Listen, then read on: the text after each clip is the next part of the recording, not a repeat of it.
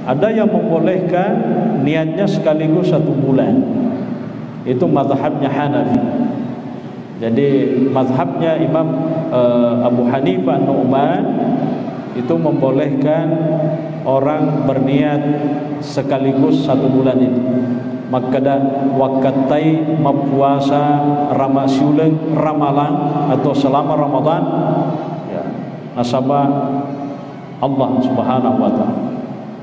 Menurut mazhab Hanafi. Boleh begitu?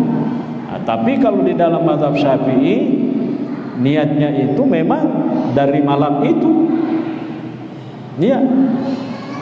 Jadi misalnya malam sudah tarawih, niat memang nih.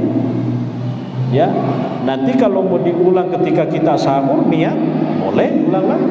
Gitu. Jadi ada yang mengatakan niat itu per hari, ada yang mengatakan bisa sekaligus satu bulan, ada juga yang mengatakan niat itu harus memang sudah diniatkan sejak malam itu, bukan pada saat kita eh, makan sahur. Itu itu penjelasannya.